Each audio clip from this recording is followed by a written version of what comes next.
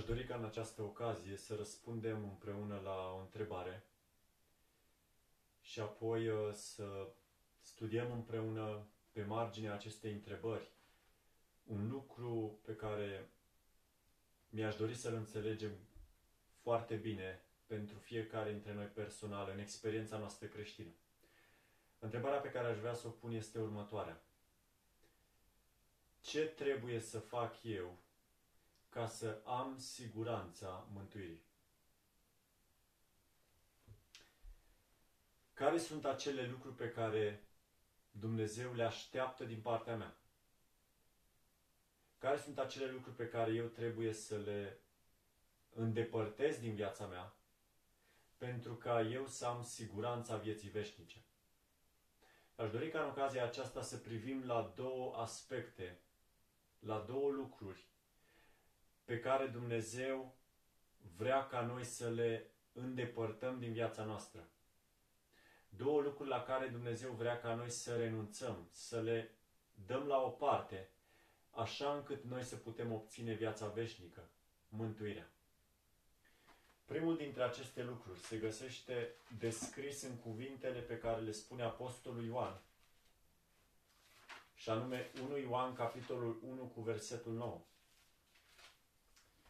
Este o făgăduință minunată aici în Cuvântul lui Dumnezeu și o asigurare în același timp. Versetul 9 ne spune așa, dacă ne mărturisim păcatele, El este credincios și drept ca să ne ierte păcatele și să ne curățească de orice nelegiuire. Deci iertarea lui Dumnezeu este făgăduită cu condiția mărturisirii păcatelor noastre. Cu alte cuvinte, dacă eu sunt dispus să renunț la păcatele mele, dacă eu sunt dispus să-i mărturisesc lui Dumnezeu păcatul meu, vinovăția mea, și sunt dispus să aduc înaintea lui Dumnezeu toate relele pe care le-am făcut. Eu am făgăduința lui sigură că El nu doar că mă va primi, dar mă va ierta de toate păcatele mele și mă va curăți. Deci primul lucru la care noi, ca și creștini, suntem invitați să renunțăm pentru ca noi să putem avea ulterior parte de iertarea lui Dumnezeu și de acceptarea lui Dumnezeu și într-un final de mântuirea lui Dumnezeu, primul lucru așadar este ca noi să renunțăm de bunăvoie la păcatele noastre. Acesta este primul lucru. Acum aș vrea să deschidem Biblia în Tit la capitolul 3 și aș vrea să vedem care este cel de-al doilea lucru pe care Dumnezeu ne invită să-l dăm la o parte din viața noastră sau să renunțăm la el. Al doilea lucru îl găsim prezentat în Tit la capitolul 3 și aici vom citi împreună de la versetul 5. El ne-a mântuit, nu pentru faptele făcute de noi în neprihănire, ci pentru îndurarea Lui prin spălarea nașterii din nou și prin înnoirea făcută de Duhul Sfânt. Deci Apostolul Pavel spune, noi nu suntem mântuiți, Dumnezeu nu ne-a mântuit pe noi pentru faptele făcute de noi în neprihănire, ci pentru îndurarea Lui. Al doilea lucru la care ne cheamă Dumnezeu să renunțăm, dacă noi vrem să avem siguranța mântuirii, sunt faptele noastre neprihănite. Deci, în primul rând, Dumnezeu ne cere să renunțăm la păcatele noastre și, în al doilea rând, Dumnezeu ne cheamă să renunțăm la neprihănirea noastră. Iar dacă noi suntem dispuși să lăsăm păcatele noastre și, în egală măsură, neprihănirea noastră, noi suntem pe calea mântuirii. Prieteni, aș vrea acum să intrăm puțin mai în detaliu și aș vrea să studiem puțin problema aceasta. Pentru că în această ocazie vă promit că vom descoperi ceva extraordinar în Cuvântul lui Dumnezeu. Și aș vrea să vedem că mesajul acesta este din nou într-o strânsă legătură cu ceea ce reprezintă rădăcina care stă la baza compromisului protestantismului în lumea noastră. Haideți să mergem pas cu pas în acest studiu. În primul rând, sunt sigur că fiecare dintre noi înțelegem de ce Dumnezeu cere ca noi să renunțăm la păcat. Motivul este unul simplu. Pentru că nimeni nu va intra în ceruri cu păcat. Și am un argument foarte simplu.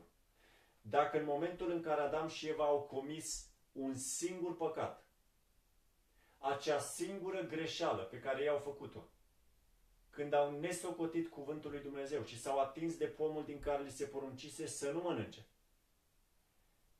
dacă pentru acel singur lucru ei au fost izgoniți din grădina Edenului și au căzut în această experiență, deci au căzut din experiența lor pe care o aveau și au intrat în experiența păcatului.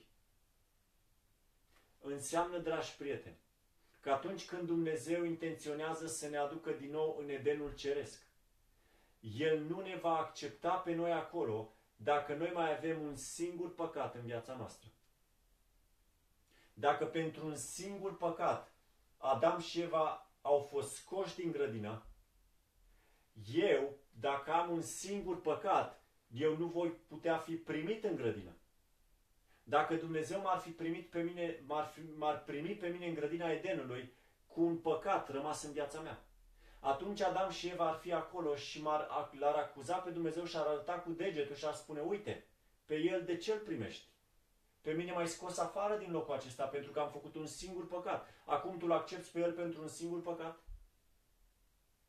Observați, dragi prieteni, unde este problema? Și cred că nimeni nu are o problemă în a înțelege că Dumnezeu nu poate să mă mântuiască pe mine în păcatele mele. Este exclus ca eu să fiu mântuit cu păcat. Asta este ceea ce ne învață Sfânta Scriptură. În egală măsură acum, când ne referim la faptul că Dumnezeu nu poate să ne mântuiască nici prin propria noastră neprihănire sau faptele noastre neprihănite. Aș vrea să observați că omul care prezintă ca bază a meritelor sale sau a acceptării sale înaintea lui Dumnezeu faptele lui neprihănite, nu are nici o speranță, nici o posibilitate de a fi mântuit.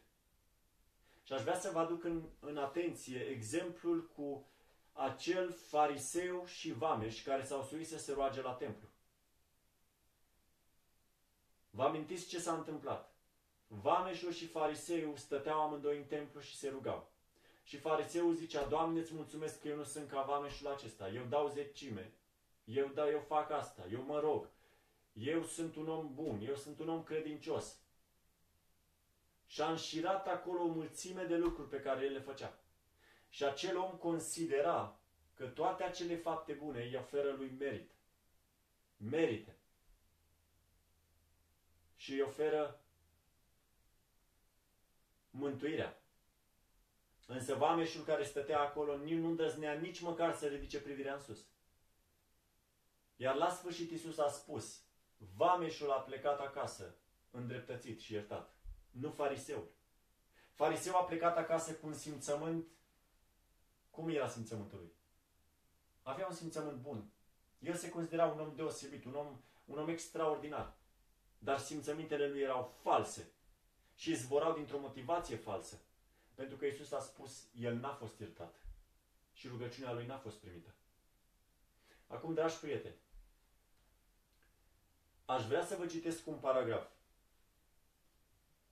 studiem în această ocazie despre problema, dacă vreți, rădăcina care stă la baza acestei mari apostazii. Când vine vorba despre unirea dintre protestantism și catolicism. Și aș vrea să observăm împreună în această ocazie că acel pericol care îi face pe protestanți să renunțe la principiile pentru care au stat odată și să se unească cu catolicismul. Din dorința de a avea o cale mai ușoară în umblarea lor creștină. este același pericol care ne paște pe fiecare dintre noi în viitorul apropiat, pe măsură ce se apropie criza. Și aș vrea ca în această ocazie să vedem cum Dumnezeu, prin cuvântul inspirat, țintește aceste două elemente pe care vi le-am prezentat. Capitolul din care vă citesc următorul paragraf se intitulează Scopul papalității. Este capitolul numărul 35 din Tragedia Veacurilor. Și vă îndemn ca pentru perioada aceasta, când trăim în pragul împlinirii unor evenimente profetice importante, vă îndemn să luați din nou cartea Tragedia Veacurilor și căutați să studiați acest capitol intitulat Scopul papalității. Undeva la mijlocul acestui capitol se află următorul paragraf. Vreau să fim atenți. Pagina 572. Un studiu cu rugăciune al Bibliei le-ar arăta protestanților caracterul adevărat al papalității și ar face să o deteste și să se ferească de ea. Dar mulți sunt atât de înțelepți, după părerea lor, încât nu simt nevoia să-L caute cu umilință pe Dumnezeu pentru a fi conduși la adevăr. Deci protestanții se înșală amarnic din cauza că ei nu studiază cu atenție Cuvântul lui Dumnezeu. În timp ce se mândresc cu iluminarea lor, ei nu cunosc nici Scripturile, nici puterea lui Dumnezeu. Ei trebuie să aibă unele mijloace pentru a-și liniști conștiința și caută ceea ce este mai puțin spiritual și umilitor. Și acum ascultați următoarea frază. Ceea ce doresc ei este o metodă de a-L uita pe Dumnezeu, dar care să treacă drept o metodă de a-și aminti de El. Adică ei vor să-L uite pe Dumnezeu, dar în ecuația aceea a uitărilor de Dumnezeu, ei vor de fapt să-și le amintească pe Dumnezeu. Și ei caută să folosească un mijloc prin care să le împace pe amândouă. Vreau ca, vor ca în același timp să-L uite pe Dumnezeu pe de o parte și să-și amintească de El pe de altă parte. Și lucrul acesta se numește compromis. Acesta este motivul pentru care protestanții de astăzi au ajuns în punctul în care ei se dea mâna cu papalitatea. Este pentru că ei vor o religie mai ușoară. O religie care să, fie, care să aducă pace și liniște în rândurile creștinilor, între ghilimele. Pentru că este o pace falsă. O religie care să dea la o parte diferențele dintre noi și care să ne unească pe baza marelui principiu, cum spun ei, principiul iubirii. Dar o iubire falsă. Pentru că iubirea adevărată te duce la ascultare de Dumnezeu, nu la renunțare la acele principii. Acum, vreau să ascultați cum se încheie acest paragraf. Și aici este miezul întregului capitol. Este, dacă vreți, esența, rădăcina, cauza adevărată a scopului papalității în încercarea de a distruge pe protestanți. Vreau să fiți atenți. Papalitatea este pregătită să facă față tuturor acestor nevoi, adică a compromisului din partea protestanților.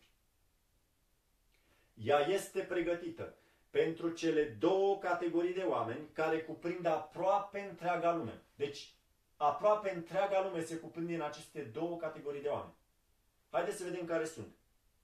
Aceia care doresc să fie mântuiți prin meritele lor, adică mântuirea prin fapte sau prin neprihănirea proprie. Și aceia care ar vrea să fie mântuiți în păcatele lor. Acesta este secretul puteriei. Dragi prieteni, avem așadar înaintea noastră cele două probleme pe care le-am prezentat în introducerea acestui mesaj. Papalitatea este, este pregătită să facă față celor două categorii de oameni. Pe de o parte, unii vor să fie mântuiți prin faptele lor și pe de cealaltă parte, unii vor să fie mântuiți cum? în păcatele lor. Dacă în aceste momente în care eu vorbesc, în experiența mea creștină, eu mă regăsesc într-una dintre cele două categorii pe care le spun, pe care le-am amintit, sau dacă tu te găsești într-una din cele două categorii, înseamnă că noi ne aflăm pe drumul care duce într-un final la unirea cu papalitatea. Adică la acceptarea principiilor catolicismului. Și s-ar putea să vă pară ciudat ce spun eu acum, dar aș vrea să înțelegem un adevăr. Atunci când Martin Luther s-a ridicat și când el a bătut tezele acelea pe ușă, la Wittenberg, și a protestat împotriva învățăturilor romano-catolice, punctele asupra căruia Martin Luther a insistat într-un mod deosebit a fost cu privire la neprihănirea prin fapte. Pentru că oamenii din timpurile acelea încercau să-și câștige mântuirea prin fapte proprii. Se chinuiau să urce în genunchi pe scările acelea, pentru ca ei să fie absolviți de păcatele lor, pentru ca ei să poată fi mântuiți din starea lor. Tot ceea ce prezintă Biserica Romano-Catolică nu este altceva decât mântuire prin fapte. Dar vreau să observați că în aceeași biserică romano-catolică, nu doar mântuirea prin fapte este problema pe care ei o au, ci în aceeași biserică există și sistemul indulgențelor, în care un om plătește înainte pentru ca el să-și ia cumva permisiunea de a păcătui. Dar atunci când el urmează să comită acele păcate, el este deja absolvit pentru că a plătit pentru ele. Adică, Biserica Catolică te învață că tu poți fi mântuit în păcatele tale. Și așadar, dragi prieteni, Biserica Catolică oferă, pe de o parte, un program prin care tu poți fi mântuit prin propriile tale fapte, prin neprihănirea ta. Iar de cealaltă parte, îți oferă un program prin care tu poți fi mântuit în păcatele tale. Împotriva acestor învățături a protestat Martin Luther. Însă astăzi biserica, bisericile protestante, în loc să continue protestul lor, în loc să respingă aceste două rătăciri, învățături ale bisericii romano-catolice, ei îmbrățișează aceste lucruri, aceste învățături. Știți de ce? Pentru că place firii pământești. Este mult mai ușor pentru un om să aleagă să-și caute mântuirea prin propriile fapte și este ceva mai plăcut, firesc vorbind. Și este de asemenea plăcut pentru un om să gândească și să creadă că el poate fi mântuit în păcatele lui. Însă observați un lucru. Aceste două mari probleme despre care discutăm se află la baza, la temelia înșelăciunii papalității. Adică papalitatea folosește aceste două mijloace, două căi pentru a înșela, dacă este posibil, întreaga lume. Și majoritatea vor cădea în plasa ei. Acum, dragi prieteni, vreau să vă pun o întrebare. Haideți să lăsăm puțin deoparte lumea protestantă în general. Și haideți să ne referim la Biserica Adventistă de ziua șaptea, la poporul lui Dumnezeu. Oare există pericolul ca și noi să fim înșelați de aceste învățături? Oare există pericolul ca eu să îmi câștig mântuirea prin, să încerc să câștig mântuirea prin faptele mele personale? Sau dacă nu să cad în partea cealaltă și să încerc să câștig mântuirea continuând în păcatele mele? Aș vrea să vedem, să analizăm puțin cele două lucruri. Vreau să știți că în Biserica Adventistă, dacă ar fi să faci o statistică, o analiză, și să pui, să împarți membrii Bisericii Adventiste în cele două grupe despre care discutăm acum. Veți vedea că majoritatea copiilor lui Dumnezeu se încadrează ori într-o parte, ori în cealaltă. Haideți să vedem ce spune cuvântul lui Dumnezeu. Am citit împreună că toți aceia care își mărturisesc păcatele vor fi iertați. Cu alte cuvinte, nu există mântuire în păcat. Și am citit de asemenea că toți cei care vor fi mântuiți sunt mântuiți nu prin neprihănirea lor proprie, Deci noi nu putem fi mântuiți prin faptele noastre. Și totuși atât de mulți oameni, și asta se întâmplă mai ales în rândul reformatorilor, au impresia că dacă ei prezintă lui Dumnezeu o listă întreagă de lucruri bune pe care ei le fac, lucrul acesta cumva îi recomandă înaintea lui Dumnezeu. Și cumva prin acest lucru ei pot să-și obțină mântuirea personală. Dacă în mintea sau în inima ta există vreun gând de acest fel, că tu poți să-ți obții mântuirea prin faptele tale proprii, Vreau să știi că tu te afli pe drumul care duce și care te va duce într-o bună zi să te unești cu papalitatea. Dumnezeu să ne ajute să fim eliberați pe deplin de această mentalitate, de acest gând, că noi am putea cumva în vreun fel să ne câștigăm mântuirea prin faptele noastre proprii. Singurul lucru care ne poate ajuta să avem mântuirea este iubirea noastră pentru Dumnezeu. Iar singurul mod în care Dumnezeu ne acceptă faptele noastre neprihănite. Singurul mod în care Dumnezeu acceptă jertfa noastră, consacrarea noastră, este doar dacă ea izvorăște din iubire. Acum aș vrea să mergem în partea cealaltă. Există în Biserica lui Dumnezeu de astăzi pe lângă aceia care încearcă să-și obțină mântuirea prin fapte proprii, da? Și cade în acest legalism, care este de multe ori prezent în mijlocul nostru. Vreau să vă întreb, dragi prieteni, există o altă categorie de oameni care pretind, care susțin și care chiar învață că ei pot fi mântuiți în păcatele lor? O, da, frații mei. Și aici este locul în care am vrut să ajung, în această ocazie avem ceea ce numim noua teologie în mijlocul Bisericii Adventiste. Este această învățătură care spune că tu poți fi mântuit în timp ce păcătuiești. Dar vedeți, nimeni nu vine să-ți spună că tu ești mântuit în timp ce faci păcatul. În mod direct, nimeni nu-ți spune lucrul acesta. Însă, indirect, noua teologie susține că Domnul Isus Hristos n-a fost ca noi. Că El a fost diferit. Iar noi, dacă nu putem să avem biruință de plin asupra păcatului, este pentru că Isus a avut un avantaj.